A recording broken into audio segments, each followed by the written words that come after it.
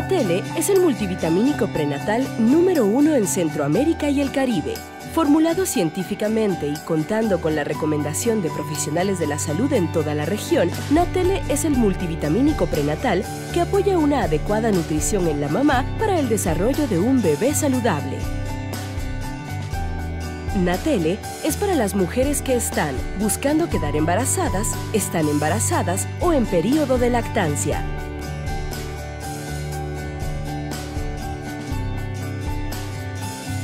Las primeras 6 a 8 semanas después de la concepción son críticas para el desarrollo del bebé, ya que es cuando se forman varios órganos vitales. Construir los niveles adecuados de nutrientes que el cuerpo necesita para apoyar a la mamá y al bebé en crecimiento toma tiempo, y el obtener los nutrientes suficientes que necesitan la mamá y el bebé solamente de la dieta puede ser difícil. Tomar Natele por lo menos un mes antes de iniciar buscar quedar embarazada ayuda a construir los nutrientes esenciales para apoyar el desarrollo de un bebé saludable desde la concepción. Gracias a su contenido de ácido fólico, Natele ayuda a prevenir defectos en el tubo neural como espina bífida. Además, Natele contiene 13 vitaminas y minerales que son importantes para cubrir las necesidades nutricionales adicionales de las mujeres embarazadas y en periodo de lactancia. Natele está contigo en cada etapa de la mejor experiencia de tu vida. Natele, líder en apoyar el desarrollo de un bebé saludable.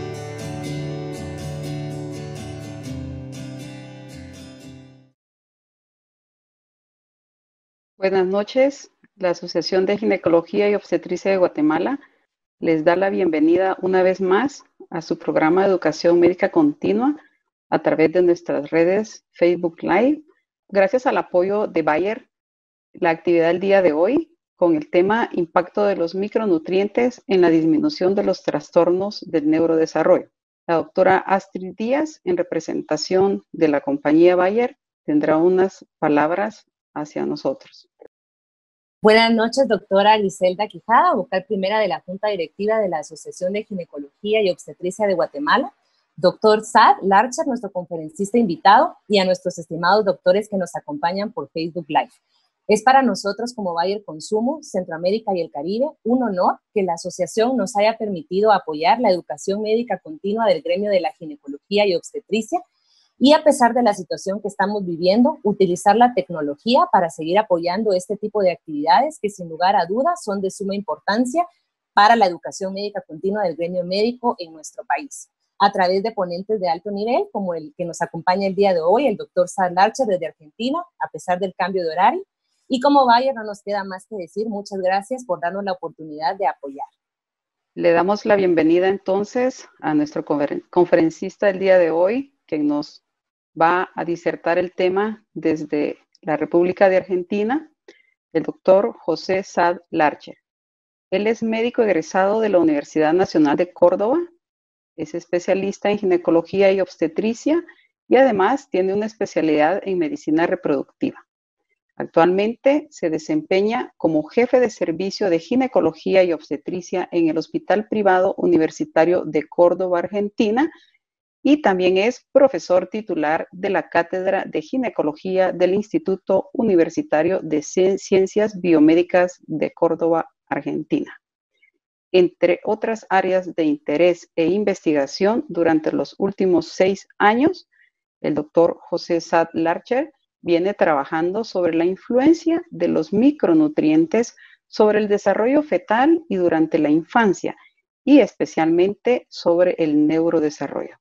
Dejamos con ustedes al doctor José Sad Larcher. Bienvenido, doctor. Eh, agradecer a la Asociación de Ginecología y Obstetricia de Guatemala, la doctora Griselda Quijada, y al apoyo de Bayer para la difusión de esta información entre colegas y amigos de esta asociación de Guatemala. Así que si les parece, vamos a, a pasar a, a la presentación.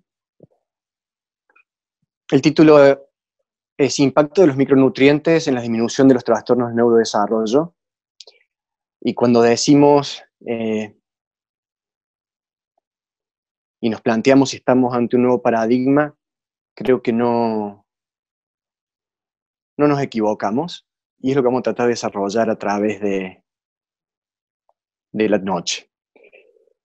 Mucho se ha dicho sobre los primeros mil días y la importancia de los primeros mil días y la influencia del ambiente y de la epigenética para el desarrollo del individuo a lo largo de toda su vida. Pero la gran pregunta es, ¿qué hacemos efectivamente en esos primeros mil días? Y sobre todo, en la, en la etapa en que ginecólogos, obstetras y en general los, los profesionales que asistimos a las pacientes que buscan un embarazo o que ya están embarazadas, qué hacemos realmente en esa etapa y si estamos aprovechando realmente todas las oportunidades que tenemos en las múltiples consultas que los pacientes hacen antes de la concepción y que muchas veces omitimos. Es así que en la charla vamos a tratar de repasar un poco algo que conocemos bien, que es el impacto del ácido fólico, cuáles son las recomendaciones de la, de la OMS que muchos ignoran al día de hoy, y en general, ¿cuál es el impacto que puede tener la, suplementación multivitamínico mineral? En varios aspectos, pero especialmente en el neurodesarrollo y en la prevalencia de condición de espectro autista y, su recurrencia.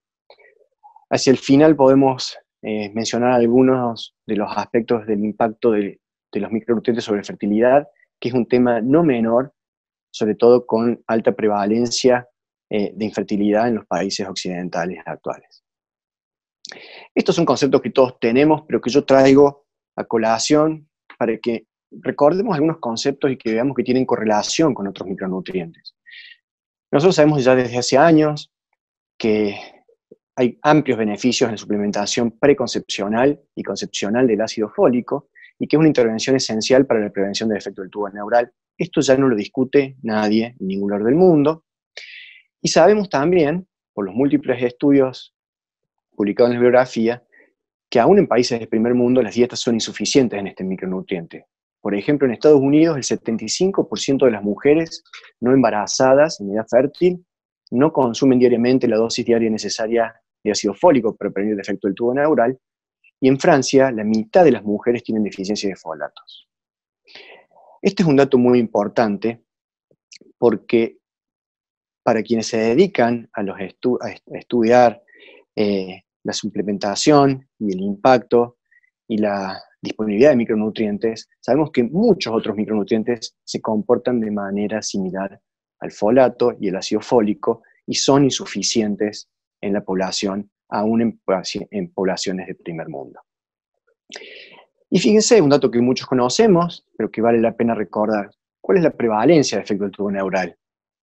Alrededor de 1 en 1000 nacimientos, con una prevalencia variable que puede ir del 0,5 a 2 por 1000, pero fíjense que es una prevalencia en general que ronda 1 en 1000 y que la vamos a comparar con la prevalencia de otras condiciones sobre las que podemos también actuar. Es así que son muchas las asociaciones científicas y médicas mundiales que recomiendan consumir al menos 400 microgramos de ácido fólico diario y en las pacientes con historia, antecedentes o aumento de riesgo de efecto tubo neural, al menos 4 miligramos diarios de ácido fólico. Pero vamos a ver que muchas de estas recomendaciones han quedado cuanto menos obsoletas ante el cúmulo de evidencia científica que tenemos a partir de los últimos años. Nosotros también sabemos que los efectos de tubo neural se producen por una interacción de predisposición genética con influencias ambientales pero todavía no sabemos con claridad cómo actúa el nofolato para disminuir la incidencia en defecto tubo neural. Esto también lo mencionamos porque es un factor común a la influencia de otros micronutrientes sobre la prevención de otros defectos del desarrollo. Y aún ante eh, la imposibilidad de determinar el mecanismo de acción, no dejamos de negar la importancia del folato en la prevención del efecto del tubo neural. Esto es muy, muy importante después para la toma de decisiones clínicas.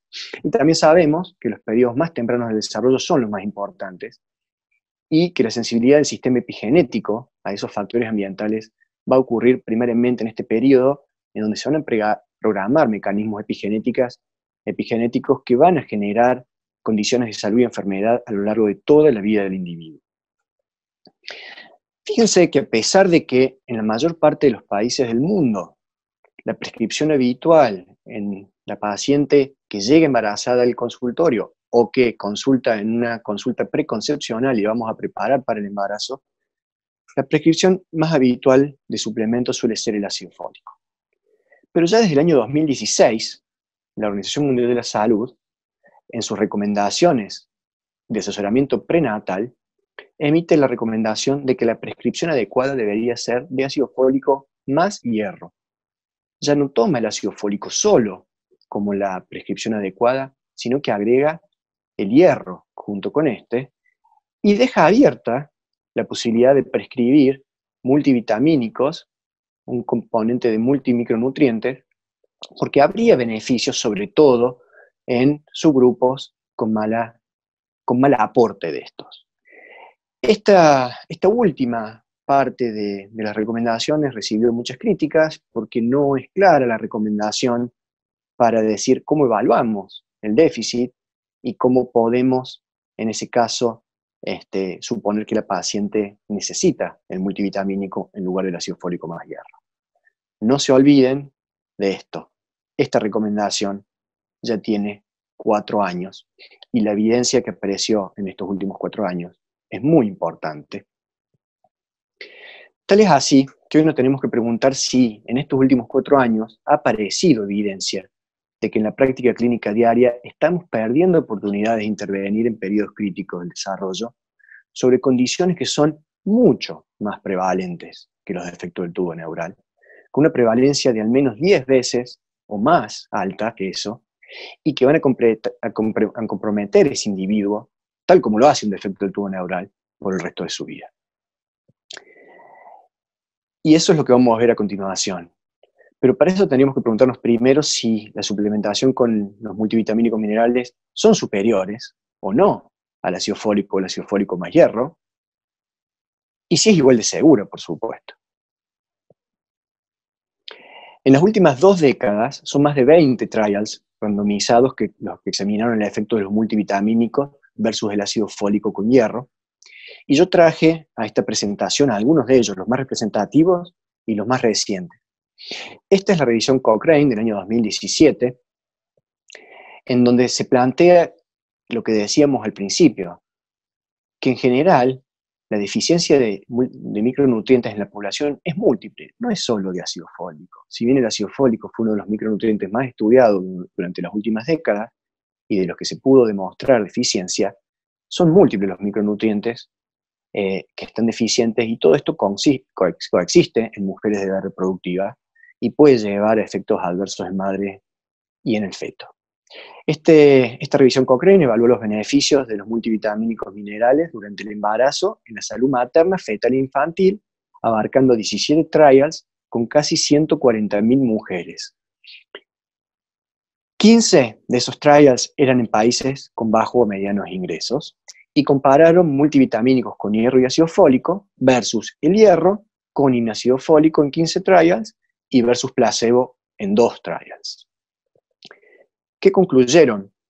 Ellos encuentran que la utilización de multivitamínicos con hierro y ácido fólico versus el hierro con o sin ácido fólico tiene una gran ventaja en disminuir la incidencia de recién nacidos de bajo peso y de pequeños paredes gestacional, con un riesgo relativo de 0,88 para el primer endpoint y 0,92 para el segundo y ellos no encontraron ninguna evidencia de que la suplementación con multivitamínicos aumentara el riesgo de cesárea, y plantean y dejan abierto que muchos otros resultados clínicamente importantes no pudieron ser evaluados en ese momento, en un trial hecho en, recordemos, 2017, por información insuficiente, entre ellos el neurodesarrollo.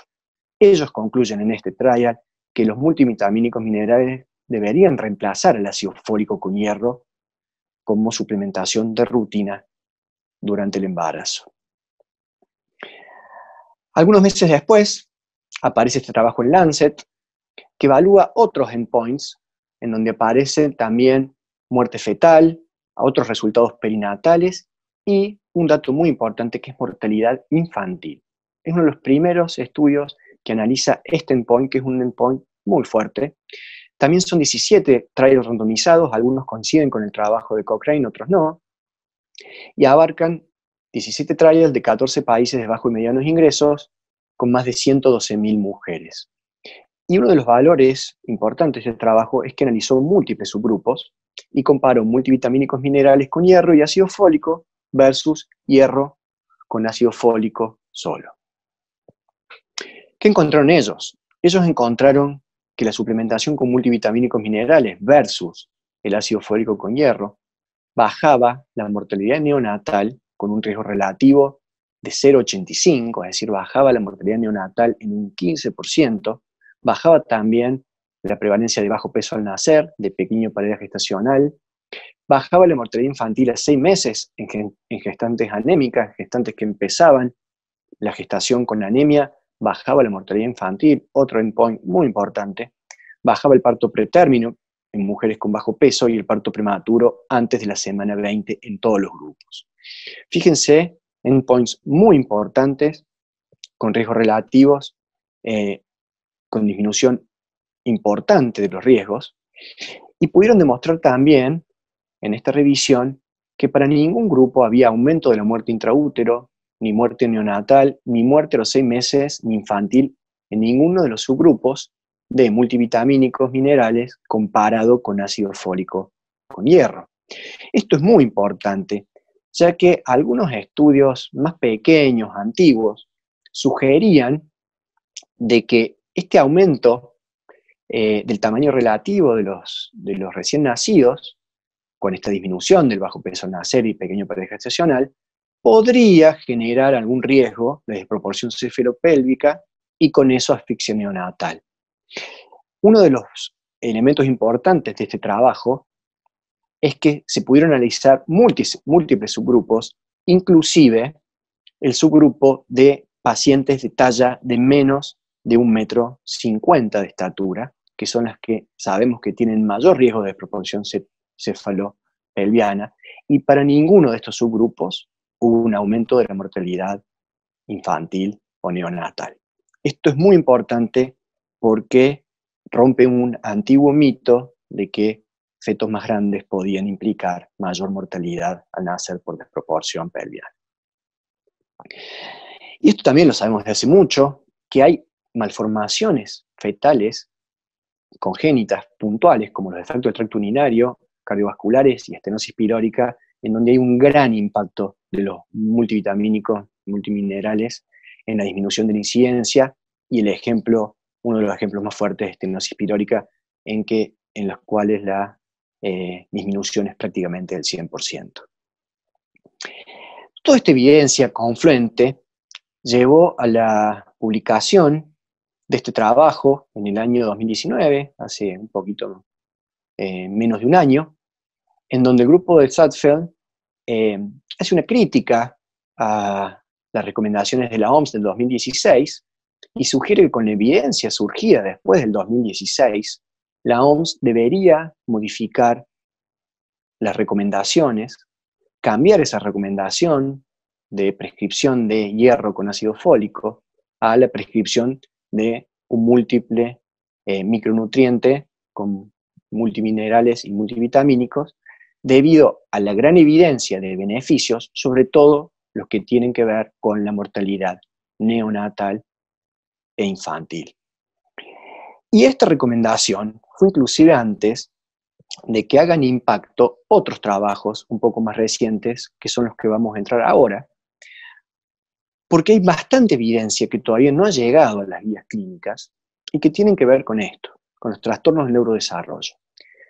Los desórdenes de espectro autista son un grupo de condiciones que están clasificados como Autism Spectrum Disorder en el DSM-5 y para los cuales la tasa de prevalencia parece estar en aumento en forma constante en todo el mundo, probablemente debido a un mejor diagnóstico, pero también a factores ambientales que aumenta la predisposición a ellos. Para entender esto y para entender cómo pueden actuar los micronutrientes, tenemos que entender que el autismo, la condición de espectro autismo, de espectro autista, es un grupo heterogéneo de condiciones clínicas, no es una sola entidad, sino que es un grupo de entidades con base genética que están influenciadas por determinantes ambientales que actúan precozmente en el niño, tan precozmente como el primer mes de gestación. El autismo es así no una sola entidad, sino que podría ser visto como un síndrome conductual con elementos comunes surgidos de una heterogeneidad genética y fenotípica. Por eso muchos grupos hoy hablan ya no de síndrome, sino de condición. No se puede negar el gran impacto de la genética. Los estudios este, más importantes de genética sugieren que entre un 50 y un 90% de la explicación podría estar en la genética, pero hay entre un 10 y otro 50% que es ambiente, que es epigenética. Y aquí no podemos dejar de mencionar algunos otros aspectos que tienen que ver con este aumento. Fíjense que hace apenas un par de meses el CDC eh, publicó el último estimado en Estados Unidos para la prevalencia de autismo, con una prevalencia de 1 cada 54 niños. La prevalencia en varones es aún superior y para algunos estados puede ser hasta de prácticamente el 3 a 4%, estados como Nueva Jersey, que, presentan una prevalencia en el año 2020 del 3.3%, es decir, uno cada 30 y pico de niños con esta condición. Esto no podemos dejar de tener en cuenta cuando hacemos anamnesis, eh, revisamos antecedentes, porque si estamos hablando de una condición con, un, con una clara base genética, tenemos que estar alertas porque podemos intervenir en la ocurrencia o en la recurrencia de estas condiciones. Tener en claro que en esto de la epigenética, para meternos ya de lleno a hablar en micronutrientes, está claro y está demostrado que las vacunas, que el timerosal y que las técnicas de reproducción asistida no aumentan el riesgo de condiciones de espectro autista en la progenie, pero sí se ha demostrado una asociación con edad parental avanzada, sobre todo edad paterna avanzada, Complicaciones obstétricas ligadas al trauma y a la hipoxia aumentan el riesgo de autismo posterior. La obesidad y la diabetes materna, con la prevalencia que tenemos en aumento de estas condiciones. La cesárea aumenta ligeramente para algunos autores y en algunos trabajos, para otros no encuentran esa asociación. La exposición prenatal de la madre durante el embarazo y postnatal a metales pesados, y medicamentos como el ácido valproico, eh, para los cuales en países como España ha habido verdaderas epidemias de condición de espectro autista cuando se ignoran las recomendaciones de su prescripción en, en la gestación. Pero metiéndonos de lleno en la suplementación multivitamínico mineral, tenemos cada vez mayor evidencia que la suplementación materna prenatal y durante la gestación de un multivitamínico mineral podría disminuir el riesgo de condición de espectro autista. Esto ya se venía vislumbrando en varios trabajos pequeños, pero empezó a tomar fuerza cuando en el British Medical Journal, en el año 2017, eh, un grupo combinado del Karolinska de Suecia junto eh, a un grupo de Filadelfia, de Estados Unidos, eh, publicó este trabajo basado en el corte de Estocolmo, que es un gran grupo de niños y jóvenes que fueron seguidos durante eh, años y donde pudieron eh, verificar que la suplementación antenatal con multivitamínicos tenía un impacto en la prevalencia de autismo posterior en esos niños. Esto fue un estudio prospectivo de corte sobre más de 200.000 binomios madre-hijo. El número fue muy importante.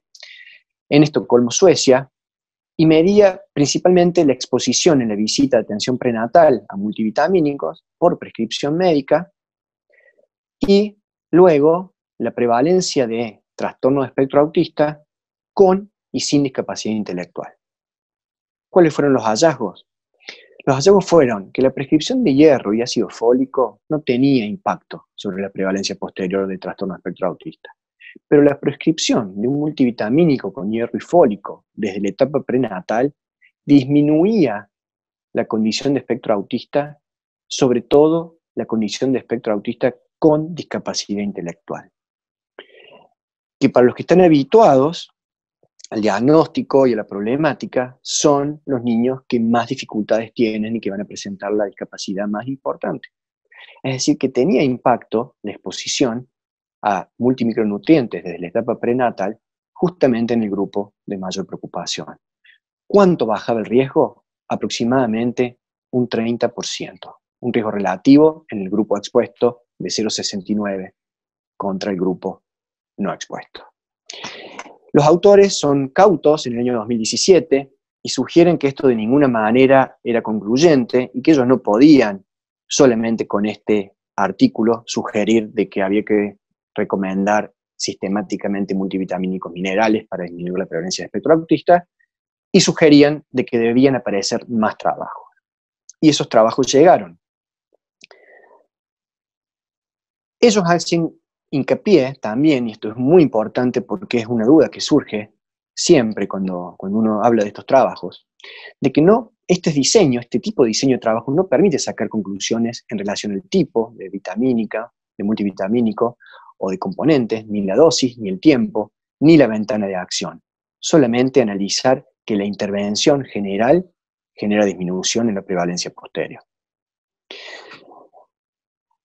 Un tiempito después, apenas un año después, aparece este trabajo de Levine y colaboradores en JAMA, en que miden la asociación del uso de multivitamínicos y fólico, acá ya hay una exposición separada solamente de fólico, sin hierro, antes y durante la gestación y el riesgo de trastorno espectro autista posterior en los niños nacidos de esas madres expuestas.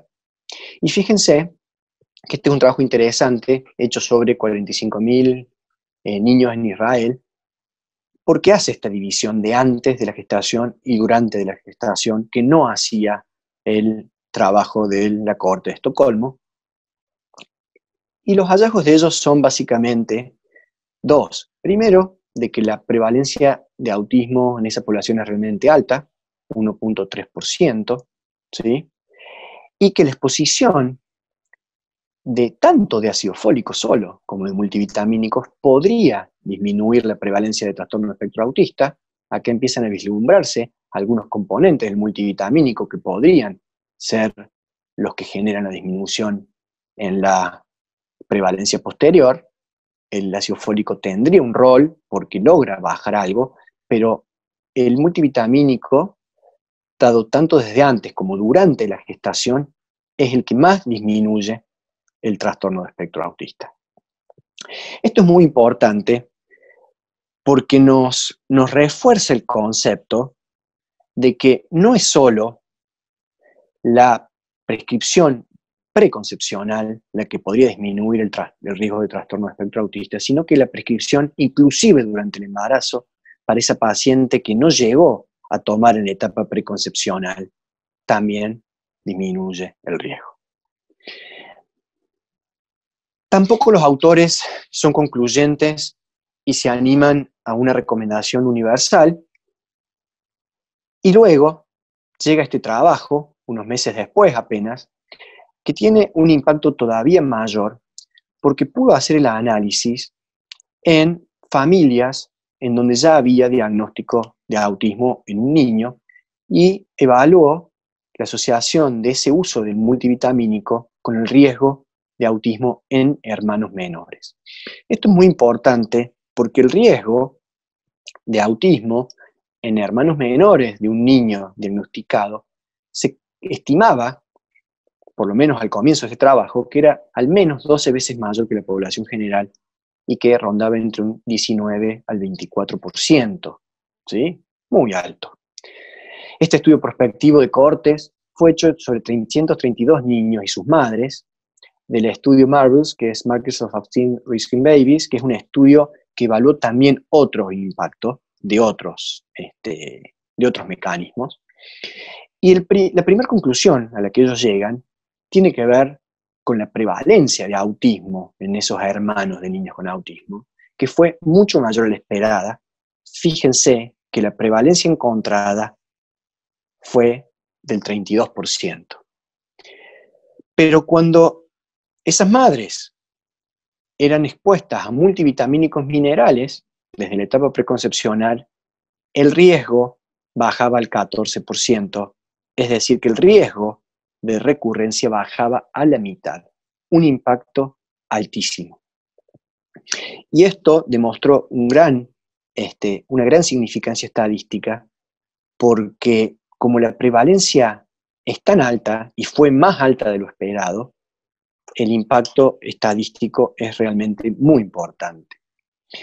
Y un dato aún más alentador, que es que en los grupos de vitaminas, de madres expuestas a vitaminas, en que los niños sí fueron diagnosticados con trastorno espectro autista, ese 14%, esos niños presentaron menor severidad de los síntomas, con una diferencia estimada en la severidad de los síntomas del 40% menos de severidad que si no hubieran recibido los multivitamínicos, sugiriendo algún efecto gradual sobre eh, estos mecanismos epigenéticos en los cuales se podría lograr la prevención o la disminución de la severidad.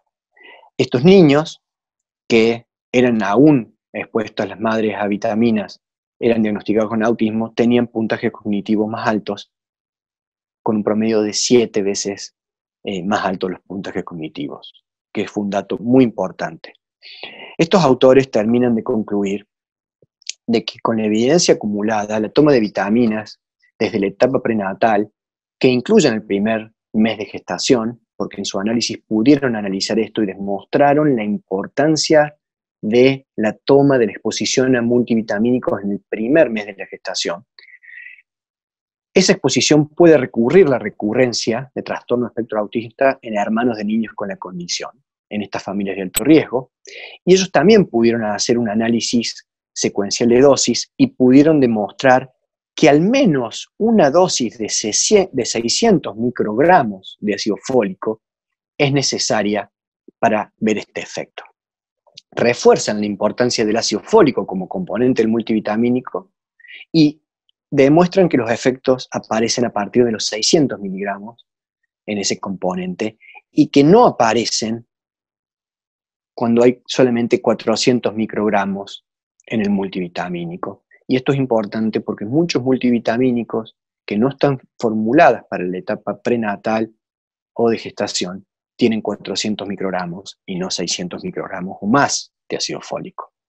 Ellos concluyen con mucha firmeza que es un deber informar como recomendación de salud pública a esas familias de alto riesgo la toma de un multivitamínico mineral desde antes de la concepción para buscar un nuevo embarazo. Ellos comparan esta situación con la posibilidad que tiene un médico de prescribir ácido fólico a una mujer que ya tuvo un niño con un defecto del tubo neural. Esta es la situación similar, equivalente, cuando se ha presentado un trastorno espectro autista y existe la posibilidad de prevenir la recurrencia. Los hechos surgidos de, esta, de estos trabajos, está claro que la condición de espectro autista es una condición de alta prevalencia, cuyo diagnóstico ha ido aumentando exponencialmente en las últimas décadas del mundo. Si uno ve esa estadística del CDC, en dos años la prevalencia ha subido en Estados Unidos un 10%. Tiene una alta prevalencia con alto impacto social y económico, y está claro que la prescripción de multivitamínicos en todas las pacientes que planean un embarazo y en todas las embarazadas podría tener un gran impacto en la disminución de esa prevalencia. Y que sin duda las pacientes con un hijo previo diagnosticado con trastorno espectro autista tienen un beneficio potencial importantísimo. Para ir terminando, y, y porque yo estoy condicionado, porque vengo de la medicina reproductiva, y en esa medicina reproductiva hemos ido aprendiendo de que no solo es importante lograr embarazo, sino lo importante es lograr llevarse a la casa un recién nacido vivo y sano, entendiendo la salud como todo el potencial eh, para que ese individuo se desarrolle a lo largo de su vida, tenemos que mencionar el impacto de, la, de los micronutrientes en fertilidad, porque esto es algo que también en el área de la medicina reproductiva a veces se omite. Sabemos que los micronutrientes juegan un rol esencial en todos los pasos del proceso de la fertilización. que la falta de varios micronutrientes se asocia a disminución de la fertilidad en mujeres, principalmente porque esa falta de micronutrientes aumentan el estrés oxidativo en esas pacientes. Son muchos los micronutrientes que se han postulado en esto, zinc, vitamina D, folato, hierro, B12, DHA. Y son múltiples los trabajos que demuestran que la suplementación con multivitamínicos mejora la fertilidad natural y el tratamiento de reproducción asistida. Nosotros vamos a mencionar algunos, los más representativos. Fíjense que Seisel, el autor que nos trajo toda la evidencia por la cual hoy sabemos que tenemos que prescribir ácido fólico para efecto tubo neural, él pudo demostrar en un trabajo randomizado doble ciego que las pacientes que recibían multivitamínicos minerales tenían tasas de fertilidad mucho más altas que las pacientes que no lo recibían y que los tiempos de concepción eran menores. ¿sí? Eh, Cueto, en Dinamarca, en el año 2015, eh, demostró algo parecido, que había mayor fecundabilidad en esas pacientes que recibían multivitamínicos minerales eh, y que había una asociación fuerte, sobre todo en mujeres con ciclos irregulares o ciclos anovulatorios. Algo parecido encontró el grupo de Chavarro en Estados Unidos en el año 2008, en donde encontró una fuerte asociación en mejoría de la fertilidad en pacientes anovuladoras, ¿sí? Eh, proponiendo de que la suplementación multivitamínico multimineral era una de las intervenciones importantes en pacientes anovuladoras. Fíjese que el grupo de la Vecchia, de Italia, eh, pudo demostrar que las pacientes eh, que usaban estos multivitamínicos tenían mucho mejores niveles de folato eh, y, de otros multi, y de otros componentes de ese multivitamínico, demostrando que realmente el consumo de multivitamínico tenía un impacto sobre la biodisponibilidad. Y los trabajos en Turquía en el año 2011 de Osaka demostraron las primeras, los primeros vínculos entre el cobre, el zinc y el selenio eh, con la disminución de la fertilidad y la importancia de suplementar estos micronutrientes para mejorar la fertilidad. Hubo trabajos posteriores que fueron reforzando esto, como los trabajos de San de China del 2013, en donde normalizando niveles de cobre y de zinc se veía mejores resultados en fecundación in vitro. Eh, muchos trabajos eh, de investigación básico han podido demostrar que estos efectos tienen que ver, por lo menos en cierta forma, con el estrés oxidativo. No me quiero detener mucho en eso, pero hacer hincapié de que sí son muchos los trabajos que han demostrado que tiene un impacto real sobre tasa de fertilización en fecundación in vitro, cantidad de ovocitos, cantidad de embriones de buena calidad y también fertilidad natural en distintos subgrupos. Para ir terminando, eh, las conclusiones de Agrawal en el 2012, en el trabajo eh, realizado a seis meses para pacientes eh, con búsqueda natural, ellos encontraron que había un significativo aumento de la fertilidad y la chance de, encontrar embarazo a seis meses. Y la diferencia estadística era muy importante con embarazo clínico en curso de casi 67% para las pacientes que consumían multivitamínicos, para un casi 40% para las que no consumían multivitamínicos. En conclusión, está claro de que hay un beneficio también de la suplementación prenatal, por lo que vimos antes y porque tiene un impacto directo sobre la fertilidad, sobre la búsqueda de embarazo y sobre el aumento de chance de lograr el embarazo espontáneo y asistido. Para concluir, está claro que existe una evidencia confluente en todos los trabajos que se han ido publicando en los últimos años de que los multivitamínicos con hierro y ácido fólico son superiores en múltiples aspectos al ácido fólico solo o al ácido fólico con hierro para prevenir estas múltiples condiciones y patologías prenatales, que prescribirlos no solo desde la gestación, sino desde antes de la gestación tiene beneficios adicionales, como vimos sobre el neurodesarrollo y como vimos sobre la fertilidad, y que la evidencia más reciente publicada tiene que ver con esto del neurodesarrollo y que esto se constituye hoy en día como una indicación esencial, imperativa cuando hay historia familiar de trastorno de espectro autista. Hoy no podemos omitir en la anamnesis eh, detectar si existen o no antecedentes de trastorno de neurodesarrollo en esa familia, porque esa mujer es una mujer con, que va a tener un altísimo beneficio para disminuir eh, la recurrencia y por supuesto, con estas prevalencias crecientes, está claro también de que la población general también tiene un altísimo beneficio en la disminución de trastornos de neurodesarrollo. El mensaje para llevarse a casa, yo prefiero resumirlo con guías de sociedades científicas que ya recomiendan desde hace años los multivitamínicos minerales con hierro y ácido fólico como estándar de atención prenatal y durante la gestación.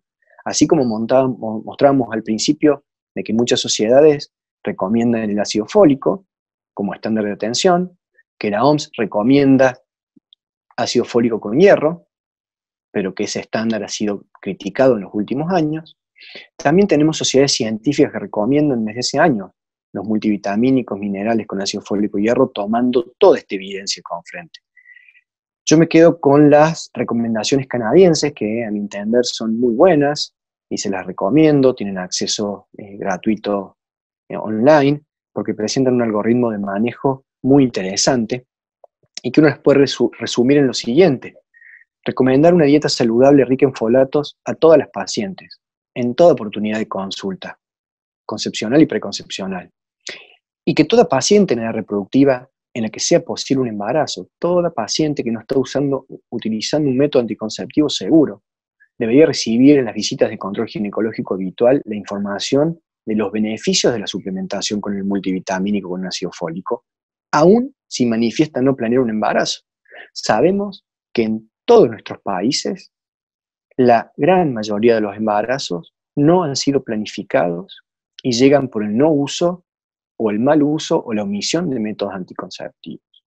Por lo tanto, debemos transmitir esta información a las pacientes y estratificando los riesgos, podemos pensar en las pacientes de bajo riesgo como aquellas que no tienen historia personal o familiar de defectos del tubo neural, u otras defectos de nacimiento sensibles a ácido fólico. Y ya estuvimos viendo recién y repitiendo de que hoy podemos considerar la condición de espectro autista como una condición que es sensible a los múltiples micronutrientes y entre ellos al ácido fólico. Y estas pacientes de bajo riesgo que no tienen ninguna historia familiar son candidatas a recibir multivitamínico. La Asociación Canadiense dice de 0,4 a 1 miligramo. Ya sabemos que hoy hay evidencia de que la dosis mínima debería ser de 0.6 miligramos, 600 microgramos, a 1 miligramo de ácido fólico, desde 2 a 3 meses antes de la concepción, durante toda la gestación y hasta 6 semanas posparto o completar la lactancia. Esa es la recomendación de base para las pacientes de bajo riesgo.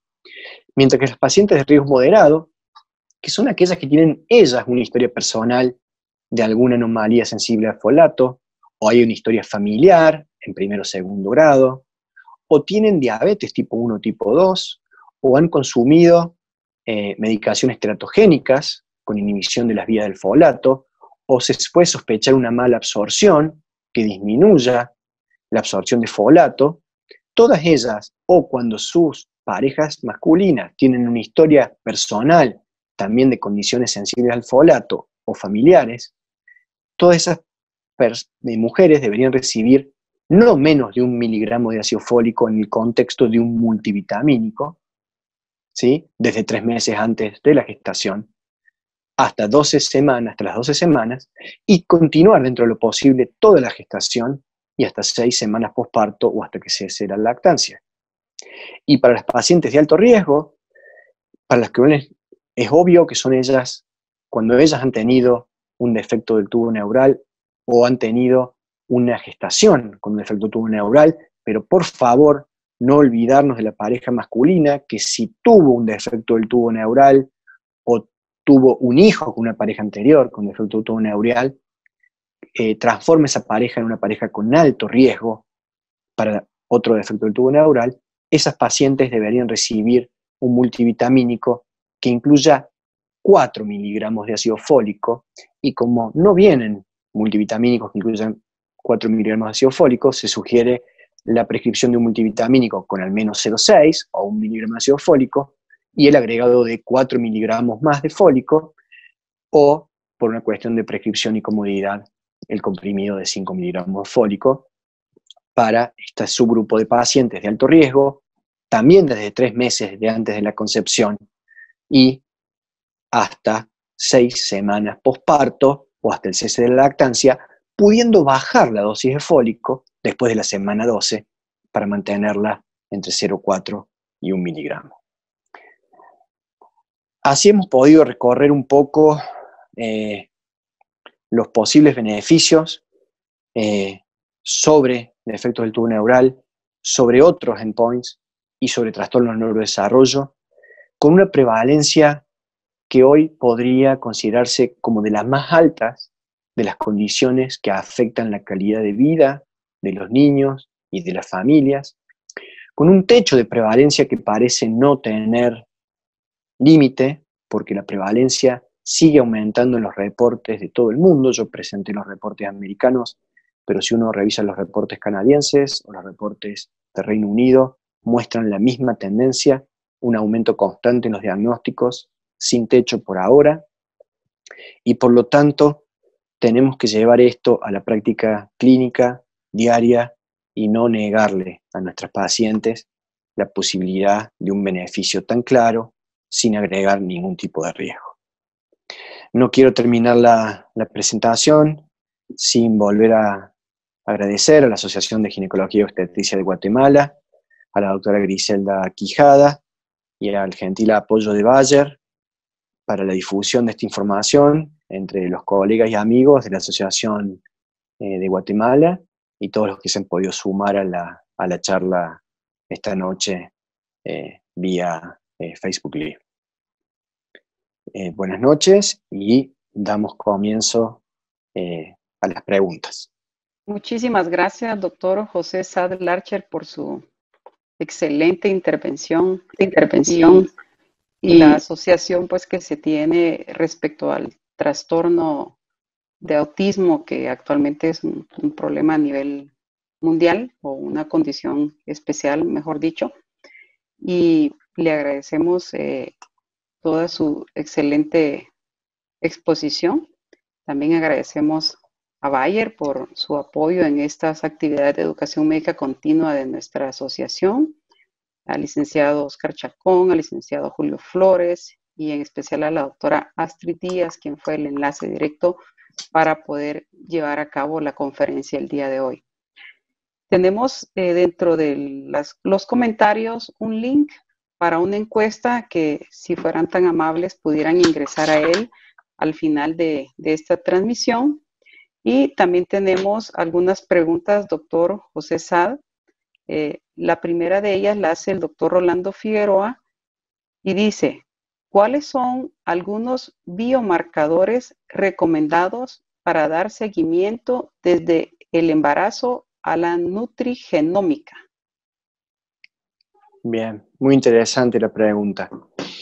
Em, uno puede, puede hablar desde eh, los trabajos y también puede hablar desde la práctica clínica. Eh, uno, hay, hay, trabajos que demuestran, por ejemplo, eh, que niveles bajos de folato y niveles bajos de vitamina B12 se asocian con mayor riesgo de trastorno de espectro autista, eh, pero no se podido demostrar que dosarlos de rutina y suplementar de rutina después del dosaje tenga un impacto sobre la incidencia posterior. Por eso es que en la práctica clínica todavía se presentan múltiples interrogantes yo al principio planteaba los interrogantes que todavía tenemos sobre el ácido fólico, aunque no podemos negar el efecto final. Y hoy no se recomienda, para contestarle al doctor, no se recomienda el dosaje sistemático durante la gestación de biomarcadores para la toma de decisiones. Cualquier dosaje de ese tipo debería estar en el contexto de estudios clínicos bien diseñados para poder validar la utilidad.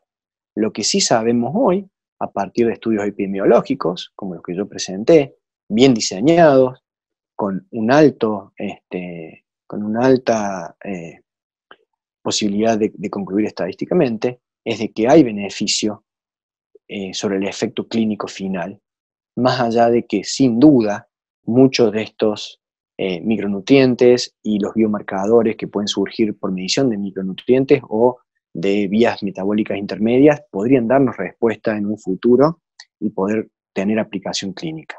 Pero por lo pronto, eh, aún habiendo descrito para ácido fólico y para B12 que niveles bajos iniciales en la gestación pueden aumentar este, el riesgo, no se recomienda el dosaje inicial y sí puede recomendarse la suplementación de rutina, porque en las formulaciones habituales de los multivitamínicos minerales para la gestación no se han detectado riesgos de sobredosis. Muy bien, muchas gracias, doctor.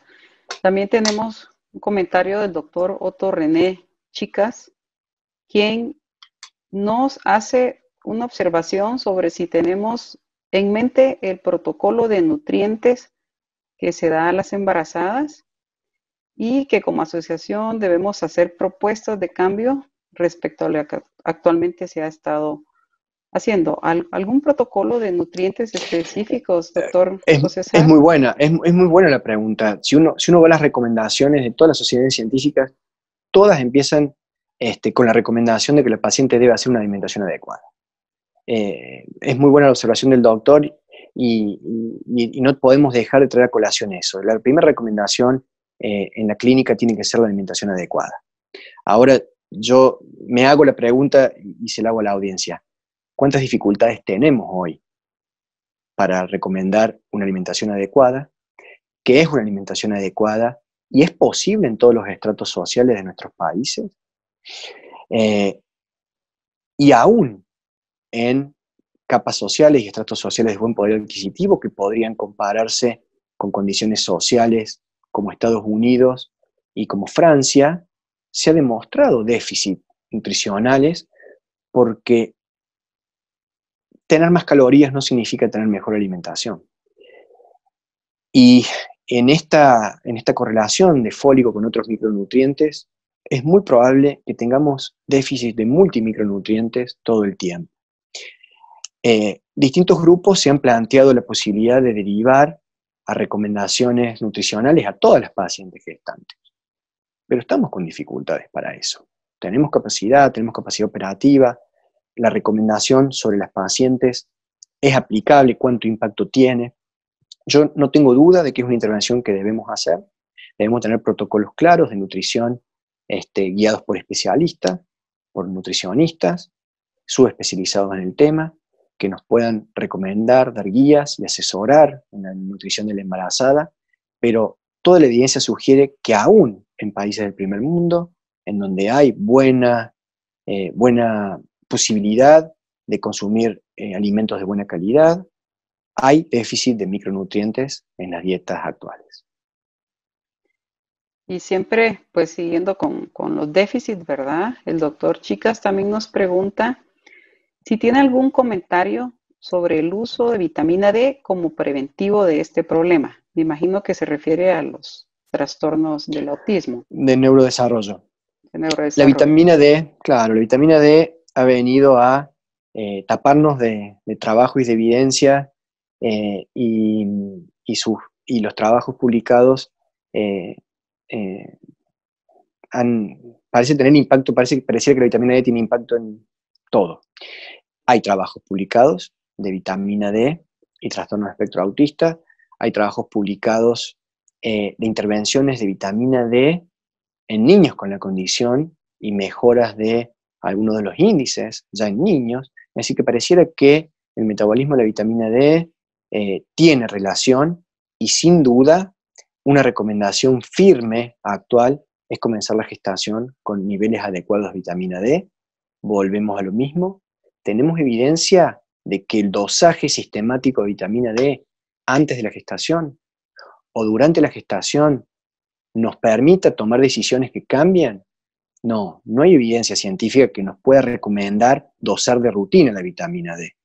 Sí hay evidencia científica que sugiere que los resultados perinatales en pacientes con vitamina D baja son peores que con vitamina D normal. Por lo tanto, deberíamos eh, generar todos los mecanismos para intentar de que esa paciente tenga niveles adecuados de vitamina D y posiblemente reservar los dosajes de vitamina D para algunos subgrupos de pacientes, según criterio clínico, en donde uno sospeche de que realmente puede haber un déficit, pacientes con nula o mínima exposición solar o pacientes con otros déficits de micronutrientes.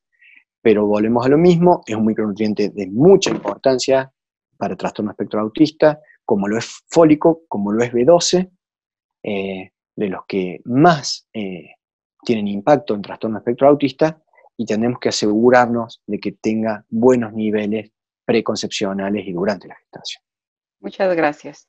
Tenemos otra pregunta del doctor Ganser Luciano y dice, dentro de las pacientes infértiles por factor ovulatorio, ¿algún subgrupo en particular se vería beneficiado? Sí. Imagino que se refiere a los micronutrientes, sí. claro. Se refiere posiblemente a micronutrientes y a esta mejora que mencionamos en la tasa de ovulación y en la tasa de fecundabilidad. Sí, las pacientes eh, se han visto eh, para distintos micronutrientes en distintos subgrupos de Body Mass Index, eh, pero curiosamente se ha visto en las pacientes con índice de masa corporal de menos de 25. En esas pacientes se ha visto pacientes anovuladoras u oligovuladores con índice de masa corporal de menos de 25 son las que más beneficio tendrían. Gracias. JR Luarca Doctor Julio Luarca dice, ¿qué opinión tiene sobre el uso de omega 3 durante la gestación? Eh, es muy importante. Em, volvemos a la recomendación inicial. Yo perdón que la voy a repetir, pero siempre tiene que quedar claro. La primera recomendación es la alimentación adecuada. Dentro de la alimentación adecuada de la embarazada deben este, proveerse fuentes de omega 3. Eh, una de las fuentes de omega 3 más importantes es sin duda eh, eh, el pescado y vale aquí la recomendación de que esa alimentación, cuando recomendamos la ingesta de pescado, tenemos que estar alertas con la posibilidad de el consumo de metilmercurio junto con la carne de pescado, sobre todo los peces de mar de mayor tamaño, eh, que son los que acumulan el metilmercurio de la cadena alimenticia en esas carnes con tanta grasa. ¿sí? Esto lo tenemos, lo tenemos que mencionar porque es un contexto. Entonces, uno debería iniciar recomendando una dieta con buen aporte eh, de carne de pescado, teniendo precaución de no consumir pescados de gran tamaño, que son los que acumulan el metilmercurio, por ejemplo el atún, que para países que por ahí no tienen acceso eh, o tienen zonas alejadas del mar, eh, suele ser uno de los, el atún enlatado suele ser una de las formas más fáciles de consumir atún, tenemos que tener mucha precaución y la embarazada no debería abusar del consumo eh, de atún enlatado, de ningún tipo de atún y de otros peces grandes, como puede ser este, pez espada o tiburón, pero que son por supuesto mucho menos accesibles. y dentro de esa dieta, la suplementación con DHA, sobre todo en el tercer trimestre, este, tendría un valor muy importante, eh, sobre todo el beneficio de los, ya hablando de suplementos no de dieta, porque la dieta debería ser completa todo el tiempo, la suplementación de DHA cobra especial valor en el tercer trimestre. Muy bien, muchas gracias, doctor Saad. Tenemos eh, una pregunta más sobre la dosis recomendada para el varón. Bien. Em, cuando nosotros eh, planteamos riesgos de defecto del tubo neural o de otras condiciones folatosensitivas en la progenie y consideramos allí los antecedentes de la pareja masculina, estamos este, tratando de analizar la influencia genética que puede condicionarnos eh, luego la aparición de, este, esta situación eh, no deseada no es que vamos a suplementar al varón, quiero hacer esa aclaración, no es que vamos a suplementar al varón este, para evitar el defecto del tubo neural en la mujer. Lo, menciono por, si yo no lo dejé claro en la eh, exposición, sino que recabamos el dato de la pareja masculina. ¿sí? Eso sí quiero hacer hincapié porque muchas veces nos centramos en el antecedente de la pareja, de solamente de la madre, ¿sí? de la gestante o de la mujer que va a buscar embarazo. Y no nos detenemos a preguntar antecedentes masculinos. Para el asesoramiento preconcepcional en micronutrientes debemos este, recabar datos de la pareja masculina. A la pareja masculina no le vamos a dar un multivitamínico. Sería otro capítulo completo hablar de micronutrientes y fertilidad masculina, en donde hay mucha evidencia de los beneficios de las carnitinas, del DHA y otras sustancias. Pero no me quiero meter en eso. Eh, hacer esa aclaración de que no es la prescripción a la pareja masculina lo que va a prevenir el defecto tubo neural, sino que es a la mujer gestante o a la mujer que va a buscar el embarazo a través o a partir de esos antecedentes masculinos. Muy bien, eh, creo que esta ya es la última pregunta. Bueno, además que hay muchísimos comentarios, doctor Sada, sobre su excelente exposición, eh, comentarios de felicitaciones. Nos dicen también que son temas muy importantes para la obstetricia de Latinoamérica y que felicitaciones por revivir este tipo de, de disertaciones. Y por último, entonces, Walter Ramírez Sosa nos dice, en el área rural, las pacientes tienen una nutrición muy deficiente. ¿Será suficiente para ellas los micronutrientes? No, no. Los micronutrientes o la suplementación con micronutrientes o la prescripción de micronutrientes no reemplaza una buena alimentación. Y, deberíamos eh, tratar de, desde el consultorio, desde la práctica clínica, pero quienes tienen posibilidades de, trabajar desde sociedades científicas o desde los gobiernos o de los grupos este, de las ONG, de promover siempre una buena alimentación como base. Los micronutrientes o la suplementación con micronutrientes abarcan una parte de ese universo importante que se ha visto con evidencia de que genera una suma muy considerable en los resultados perinatales cuando la sumamos a la alimentación de hecho habitual en nuestros países, pero nunca reemplaza a la recomendación de una buena alimentación como base. Hemos visto para todas estas condiciones de que la suplementación con micronutrientes no disminuye el riesgo a cero, y eso tenemos que recordarlo desde el propio ácido fólico los efectos del tubo neural. La suplementación con ácido fólico disminuye el riesgo de defecto del tubo neural, no lo elimina. Es decir, que todos los otros hábitos adecuados de vida incluyendo la alimentación adecuada, deben ser promovidos desde todo punto de vista. Y yo agregaría el comentario del doctor, es que hoy no solo en las zonas rurales hay problemas con la alimentación, en las zonas urbanas también, la alimentación se ha ido deteriorando por alimentos procesados, con menos micronutrientes y con mucho contenido calórico, pero sin un verdadero este, aporte nutricional más allá de, la caloría, de las calorías. Bueno, pues muchísimas gracias de nuevo, doctor José Sad, a todos nuestros amigos que nos acompañaron. Les recordamos que hay un link donde pueden ingresar para contestar una encuesta sobre cómo les pareció la actividad de esta noche. Y recordarles que para la Asociación de Ginecología y Obstetricia es importante continuar con nuestro programa de educación médica continua, especialmente ahora que estamos en confinamiento por la pandemia de COVID-19 y les esperamos todos los jueves a las 7 de la noche y siempre estar pendientes de los anuncios donde estamos publicando con frecuencia nuestras actividades. Doctor José Sad, nuevamente le damos las gracias y le doy un espacio para que pueda despedirse. Bueno, eh, volver a agradecerle, la doctora Quijada, la doctora Díaz, a la Asociación de Guatemala, y a Bayer por esta posibilidad de compartir esta información con, colegas y amigos. Eh, muchas gracias y buenas noches. Buenas noches.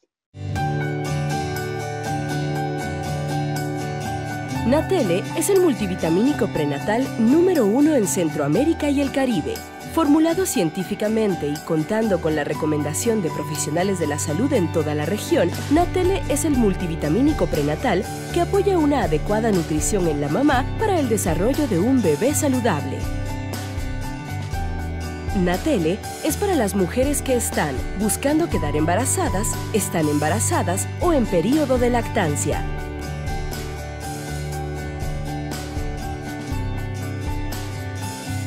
Las primeras 6 a 8 semanas después de la concepción son críticas para el desarrollo del bebé, ya que es cuando se forman varios órganos vitales.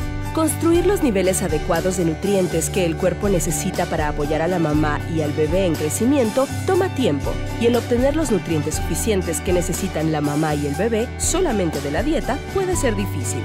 Tomar Natele por lo menos un mes antes de iniciar buscar quedar embarazada ayuda a construir los nutrientes esenciales para apoyar el desarrollo de un bebé saludable desde la concepción.